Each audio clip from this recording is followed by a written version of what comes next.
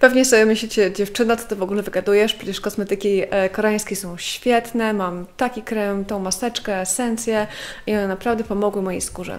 I to nie chodzi o to, że ja tak jakby nie lubię tych e, kosmetyków. Uważam, że one naprawdę są świetne. E, uważam, że statystycznie składy są o wiele lepsze niż większość rzeczy, które u nas możemy nabyć. I prawo, azjatyckie prawo dotyczące tego, ile w trakcie produkcji możemy włożyć jakby do danego kosmetyku substancji aktywnych albo ekstraktów jest e, inne niż u nas i my nie możemy tak bardzo napakować kosmetyku tymi fajnymi rzeczami, chociaż e, byśmy nawet chcieli. Natomiast tam e, to prawo jest e, takie o wiele bardziej łagodne w tym względzie, dlatego też przez długi czas jakby sprowadzanie tych kosmetyków z Azji było dla naszych dystrybutorów dość problematyczne. I tak bardzo ogólnie mówiąc, wiecie, w takim ogromnym przybliżeniu, papiery, które trzeba było na to mieć, to bardziej przypominały papiery na sprowadzanie jakby leków niż takich zwykłych kosmetyków, więc to już jakby dużo mówi nam o tych składach mm, i o tym, jak to się ma do, do, do ich zawartości i prawa, e, prawa w tej kwestii u nas. Natomiast są takie rzeczy, które jakby mm, idą do nas w tym pakiecie koreańskiej pielęgnacji, które mi się nie podobają. I teraz powiem Wam, o co mi dokładnie chodzi. Pierwszą rzeczą, pierwszym jakby takim trendem jest e, taka stosunkowo nowa rzecz, bo chyba to powstało, nie wiem, ponad rok temu, jest glass skin. Chodzi w tym o to, abyśmy uzyskały e, skórę tak gładką jak tafla szkła, tafla, lustra, nie wiem, z takim efektem błysku.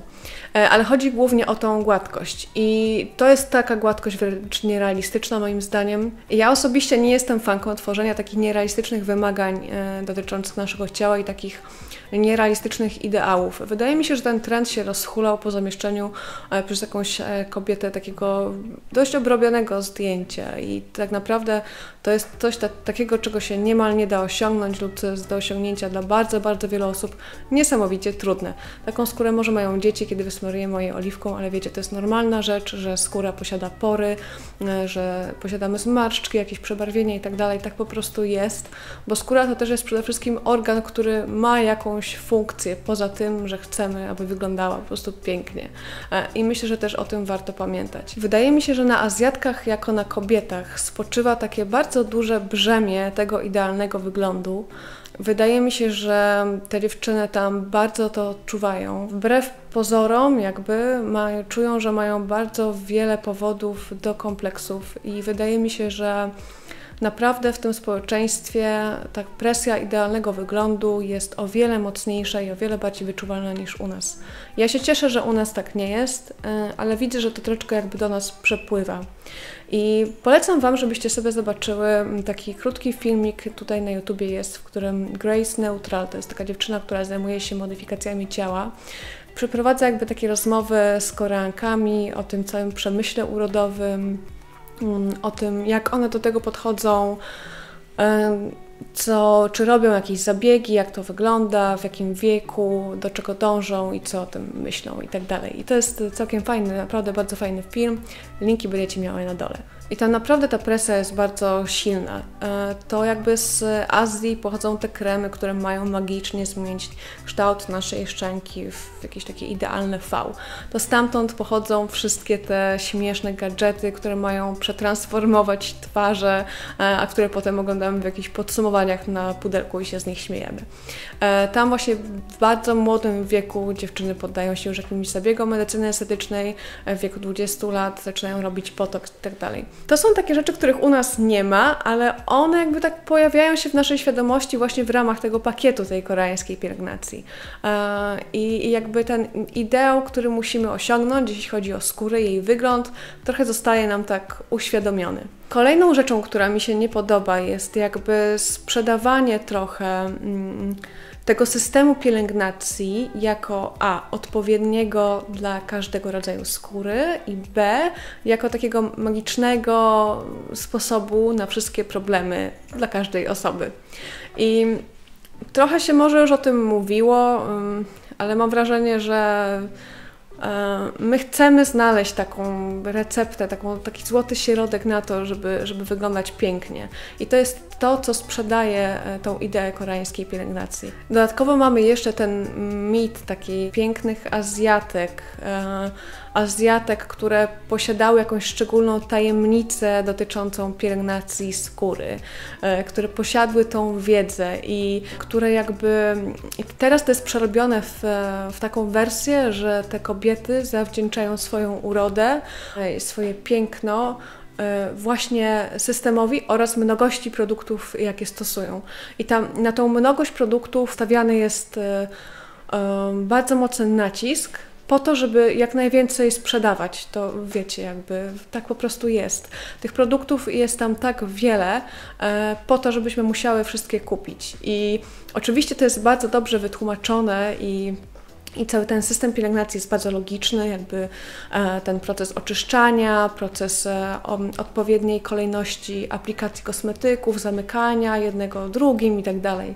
E, I dlatego też to się tak dobrze sprzedaje. To jest naprawdę bardzo fajnie przemyślane, dlatego mamy taki dla nas, Europejek, jakby dodany taki magiczny element, właśnie mm, i ten, i ten taki, taki bardzo pociągający ideał azjatyckiego piękna i naprawdę temu trudno się finalnie e, jakby oprzeć. W pewnym momencie na naszym rynku pojawiło się też mnóstwo książek o koreańskiej pielęgnacji, o azjatyckiej pielęgnacji, e, właśnie dlatego, że ludzie jakby poczuli, że to jest to, na czym można zarobić. Ale pomimo tego, że koreańskie produkty w większości są naprawdę bardzo fajne, to jakby sam ten system e, taki wieloetapowy niekoniecznie sprawdzi się na każdej skórze. I warto pamiętać, że tak naprawdę najlepszy najlepszy jakby taki system pielęgnacji to jest ten, który sprawdza się u Was i do takiego można dojść tak naprawdę najczęściej metodą prób i błędów. Jest nam bardzo wiele osób, które naprawdę zyskały na e, pielęgnacji koreańskiej i bardzo sobie chwalą, też taką pielęgnację wieloetapową. E, ale znam też takie osoby, ja jestem jedną z nich, u których to się nie sprawdziło tak naprawdę w ogóle, czy też nie widziałam jakichś wielkich, wymiernych efektów e, stosowania tego, oprócz straty czasu i pieniędzy. E, natomiast wiele, wiele rzeczy e, bardzo fajnych i takich bardzo cennych możemy sobie z tego wynieść. Ja jestem fanem mieszania różnego rodzaju podejścia, korzystania ze wszystkiego, z czego możemy korzystać, ale wiecie, dopasowywania tego po prostu do swoich potrzeb i do potrzeb swojej skóry, bo to jest bardzo indywidualna kwestia. Oczywiście skóra Azjatek jest tak naprawdę inna od naszej. Ja mam znajomą Koreankę, której skóra naprawdę jest tak totalnie inna od mojej, że ja chyba w żadnym miejscu na ciele nie mam tak grubej skóry. Wiecie, to, to jest naprawdę taka charakterystyczna skóra. Natomiast jej mąż ma już skórę trochę taką cieńszą i delikatniejszą. Um, ona mieszka w Polsce. Ja też e, nie wiem na pewno, ale sądzę, że jest taką osobą, która jakby nie poddaje się zbyt wielu zabiegom. Um, I ja widzę, jak ona wygląda i widzę, że ta skóra wygląda tak naprawdę całkiem normalnie. To, to nie jest jakby ten taki wyśniony ideał, który wiele osób ma może gdzieś tam z tyłu głowy. A z drugiej strony mamy te jakby wiecznie młode Azjatki, które w wieku 40 paru lat wyglądają na 20 pary. E, I oczywiście to też jest kwestia genów, kwestia struktury kości, jakby rysów twarzy. I kwestia pielęgnacji, ale przede wszystkim to też jest kwestia tego, że te kobiety wykonują regularnie bardzo wiele zabiegów medycyny estetycznej i o tym też trzeba pamiętać. E, one zresztą bardzo otwarcie mówią o, o operacjach, jakie przechodziły, często, bo tam to jest jakby taka normalna sprawa i o tym dużo się mówi, bo po prostu większość osób z tego bardzo szybko zaczyna korzystać. I nie jest to taki temat jakby trochę jeszcze tabu jak u nas, chociaż u nas to też się bardzo zmienia. I ja w ogóle nie jestem przeciwko tego typu zabiegom, ale wiecie, warto też pamiętać, jakby mieć taki realistyczny obraz tego, że są rzeczy, których nie da się osiągnąć samą pielęgnacją. I to są często te rzeczy, które nas tak kuszą, a to są właśnie te efekty, które nas do tej azjatyckiej pielęgnacji ciągną. To są te te efekty, które nie do końca my na przykład będziemy w stanie uzyskać samą pielęgnacją, która jest oczywiście bardzo fajna swoją drogą, jakby to jest trochę um, taka osobna rzecz. Może jeszcze na koniec powiem Wam o tych sprawach, które mi się jakby w tym systemie, czy, czy w ogóle jeśli chodzi o koreańską, azjatycką pielęgnację, podobają. Niesamowicie podobają mi się składy kosmetyków i to jest naprawdę świetna rzecz. E, podoba mi się to, że mm, bardzo wiele tych kosmetyków, które mają lepsze składy, mają te składy naprawdę świetne. To są składy wypakowane e, substancjami aktywnymi, wypakowane peptydami, ekstraktami itd. E, to jest super, chociaż nie wszystkie produkty koreańskie i azjatyckie są tak dobre.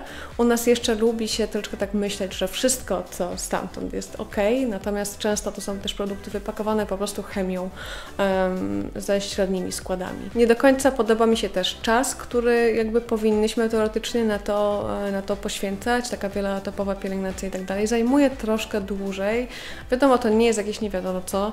E, I ja też prowadzę bloga urodowego, więc teoretycznie faktycznie pewnie poświęcam trochę więcej czasu na to niż y, zwykła osoba, ale lubię ten czas jakby minimalizować i, i, i tak odpuszczam sobie robienie naprawdę bardzo, bardzo wielu rzeczy. Naprawdę bardzo podoba mi się idea takiego delikatnego obchodzenia się ze skórą. Podoba mi się sposób, w jaki azjatki wykonują demakijaż. Robią to naprawdę niesamowicie dokładnie i właśnie tak bardzo, bardzo delikatnie. E, to jest super. Podoba mi się też to, że tam jest dość duży nacisk kładziony na to, żeby utrzymywać cały czas skórę w optymalnym poziomie nawilżenia. Ja też lubię używać takich mgiełek e, odświeżających w ciągu dnia. Wiadomo, że e, Azjatki używają ich o wiele bardziej intensywnie, praktycznie często przez cały dzień. Masaż twarzy też jest super sprawą. No i te kosmetyki, tak jak mówiłam, są naprawdę ekstra. Wydaje mi się, że tam jest bardzo wiele świetnych rzeczy, które możemy sobie jakby wynieść i, i zastosować e, w swojej rutynie pielęgnacyjnej albo w swojej pielęgnacji twarzy. Ja też jestem taką osobą, która, która uważa, że stan e, skóry odzwierciedla też ogólny stan naszego organizmu i, i bardzo wiele rzeczy, które mogą się jakby dziać z tej strony, dlatego dla mnie też takie bardziej holistyczne spojrzenie i też działanie od wewnątrz było zawsze priorytetem i myślę, że tak będzie. Mm, i, i stosowanie dużej ilości e, kosmetyków w jakiejś określonej kolejności nigdy tego akurat u mnie nie przebije. Ale jestem ciekawa, jak jest u Was, jak jest u Was e, z tym spojrzeniem na ideę koreańskiej pielęgnacji, tego, jakie kosmetyki lubicie, czy możecie coś polecić, jak się u Was to wszystko spisuje, co lubicie, a czego nie. E, koniecznie dajcie znać, czekam na Wasze komentarze. Dziękuję Wam ślicznie za uwagę i za ten czas spędzony ze mną. Mam nadzieję, że zobaczymy się niedługo. E, buziaczki i do zobaczenia.